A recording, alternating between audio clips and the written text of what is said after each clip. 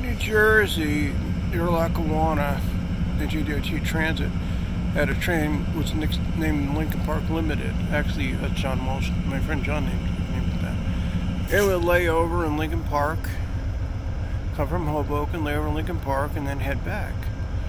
And that's kind of what this was like. Only it's in this case, it's heading from New York to New Orleans. So, but it's not going to be heading back to New York. It's not going to be push pull. It's going to be pulling. So, anyway, praise God. This is AC, the, uh, yeah, GE, um, this called again?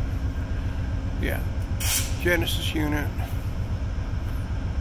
Um, what's it called? I can't remember what it's called. AC44. See, actually, it's an AC42.